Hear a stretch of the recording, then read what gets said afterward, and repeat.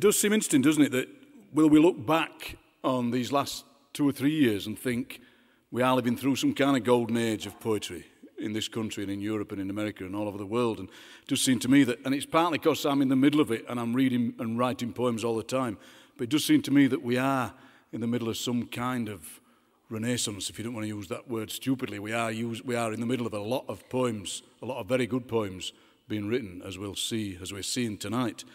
Uh, the epigraph, one of the epigraphs of one of the poems in Tracey Herd's fantastic book, goes, Doctor, when am I most real?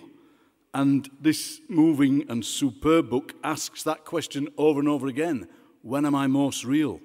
There aren't any definite answers in the book, but often the possibilities are seen through the prism, the endless prism of popular culture and films and music. There's the Big Bopper in here, and there's James Dean, Louise Brooks, Buddy Holly, images and sounds that anyway pervade our lives and give us boundaries and rhythms to live by.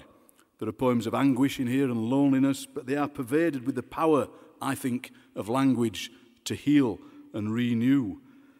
In one of her poems called The Afternoon Shifter Leaving Port Talbot Steelworks, she finishes with the lines, One by one, the anonymous men are slipping away. And I think Tracey's mission in this book is to make none of us anonymous, to make us all somebody. By reading her poems, we can become somebody. So the epigraph becomes more real. Doctor, when am I most real? And I think the answer is we are most real when we read in poems like Tracey Herd's.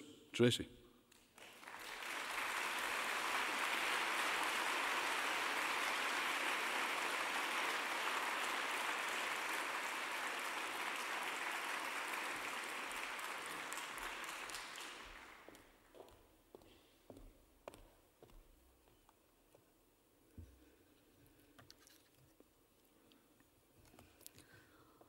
Hall of mirrors.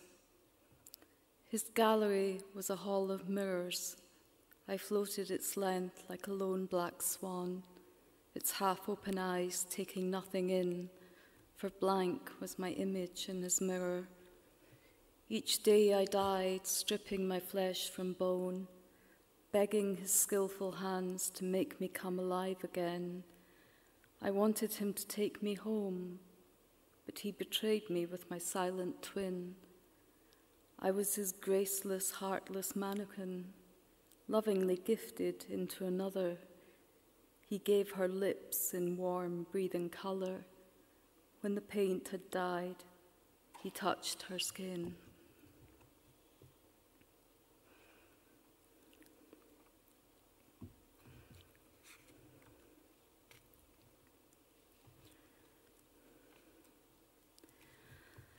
Um, this poem is for my best friend's daughter, Elsie, who's just turned 18.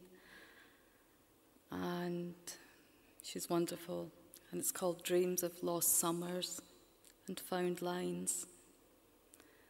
Grandma will take us rowing on the lake, you texted me. And I was fooled into thinking it real, as if you were still a little girl. It won't ever happen. You passed each other briefly, six weeks on this earth together. She is 16 summers away. When was the last time we took the rowboat out? Last century? All these missing years. It was a scorching summer. We were all burned, sprawled on the grass by the water's edge awaiting our half lifetime on the water. Sometimes I smell roses in her bedroom or Parma violets when I'm drifting off. She spent her last years in this bed reading old green and cream penguin novels, addicted to her detective stories. In the evening, she enjoyed a small sherry. If only the dark amber liquid could have better preserved the memories. Now, lying quietly beneath an oak tree, does she hear the little blonde girl, grown up now, playing her viola, the sweet, note perfect recital floating through the warm summer air? Always a dreamer, a part of her music.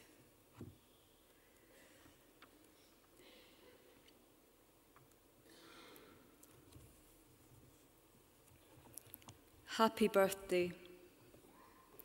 It would have been your birthday today. The Furies found me and brought me a cake and lit the candles with their fiery breath. The heat is intolerable. Perhaps this is what it is like to be in hell. You'll never blow them out. I didn't allow you even one breath. Their eyes are dripping blood, as I did. The nurses told me to keep my eyes shut. Well, you were just a random selection of cells, nothing like me at all. I still wanted to see you, my little bloody paperweight. Could I have counted your toes and fingers, seen ancestors in your tiny face? The drugs made me float like a sunset above my aching body. By the 22nd week, the eyes have formed, but the irises still lack pigment and are shut. Every month, I lie like a broken mannequin on the bed. There is a fist or a heart in my stomach, and the Furies are here to remind me I am empty although there's no need. I know why I bleed. You were scraped away like unwanted food. Look at you lying there in your little glass coffin, or is it a snow globe? Were you terribly cold? Will I sprinkle your cradle with snow? Will you wake in one hundred years and see my face in the mirror and shudder? Will the trees have grown up to the skies? the briars and roses climbing your stone wall, the prince pulling on his white horse, the rope pulling tighter. He will never have any intention of rescuing you in your bloody shift with your blind eyes.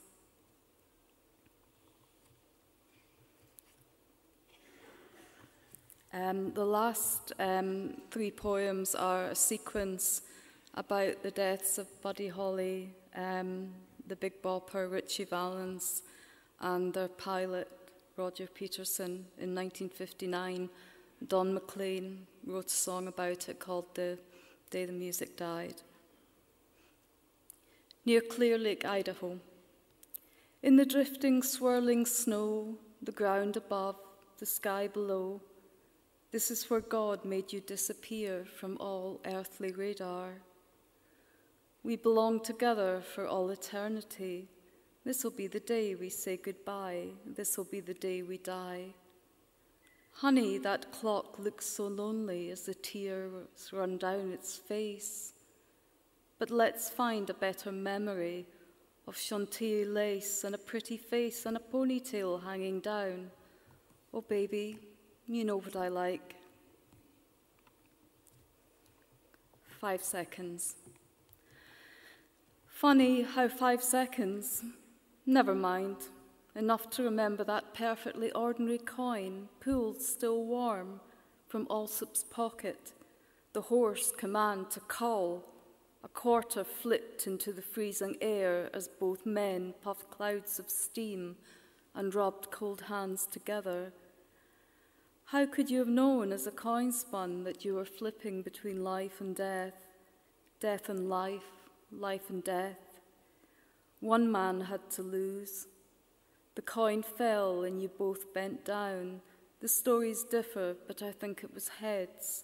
So Ritchie went to retrieve his overnight bag from the freezing coach, marvelling at his good luck.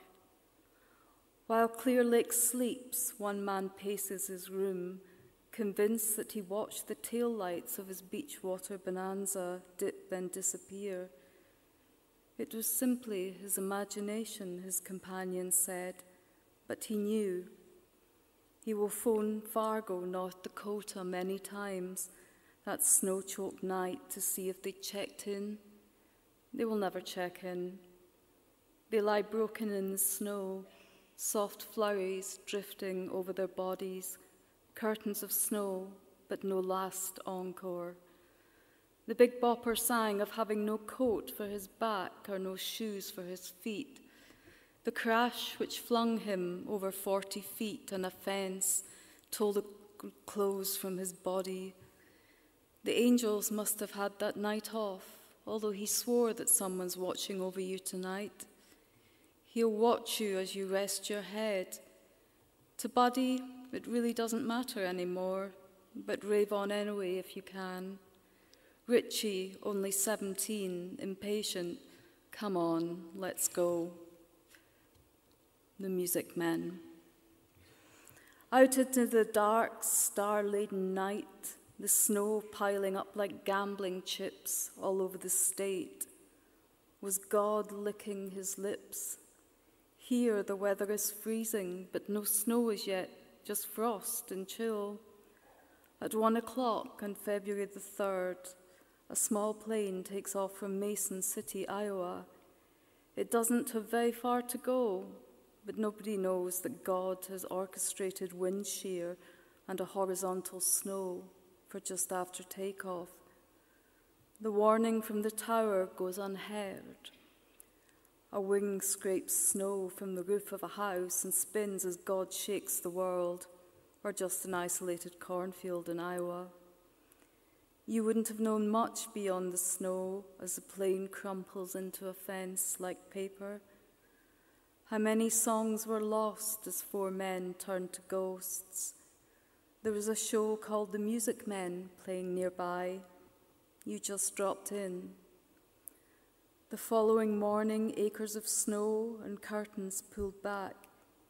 He takes a plane along the same route as last night and sees something in a field that his co pilot swears blind as a hoghouse.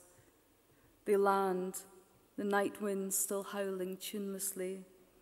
There will be no new stars in the sky.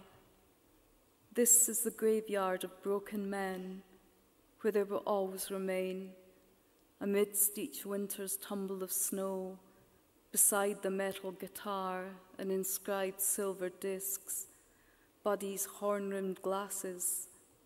Dr. T.J. Eckleburg looks over a different landscape of isolation in more sober frames Yet the end result is still the same that pilgrimage back into the past. Thank you.